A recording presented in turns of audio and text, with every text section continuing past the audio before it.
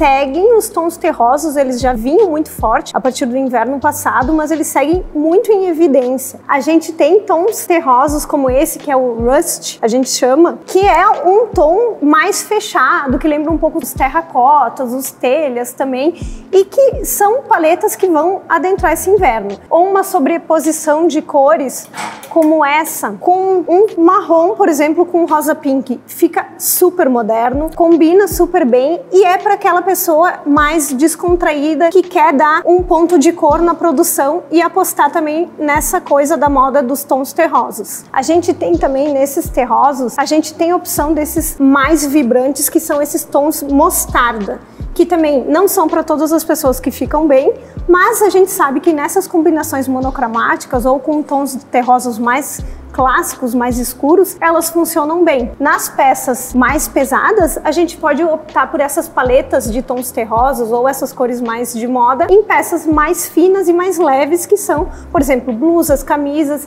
e até mesmo cachecóis e chales.